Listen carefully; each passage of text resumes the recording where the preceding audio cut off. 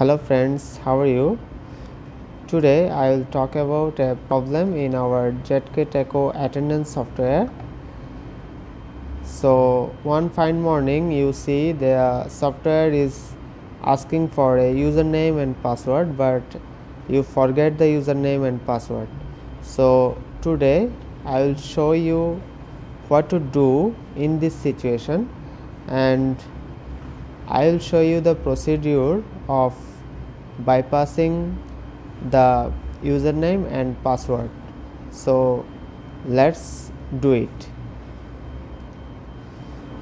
So first of all you have to go to file location and then you will find a access database file that is att2000.mdb we are copying it.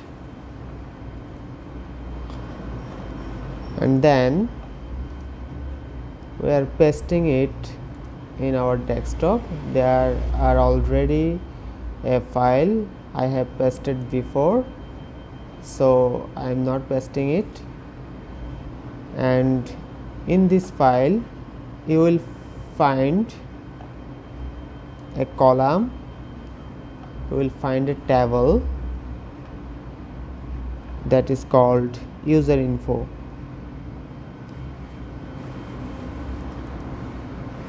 So in the user info this table has a column named security flags. You have to find that security flags. So here is the column that that is named security flags so if you are the admin find out your name in this column. So I am scrolling down to find the row. So this is the row that the admin has. It is the column that the admin privilege that has the admin privilege so here you can see that the value is 15 so you have to turn it to 0 and save the file. So I am crossing it and do you want to save it? Yes. So here here the new file and you have to copy the file and again go to the file location. I'm going to the file location.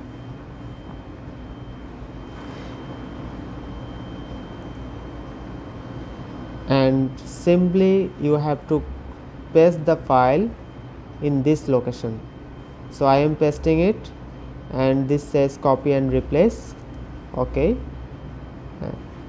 So you are done so now you can log in to your ZK software. Okay done. See I am now in the ZK software interface without giving any username or password. Hope you will find the video helpful. If you have any queries please do comment. Thank you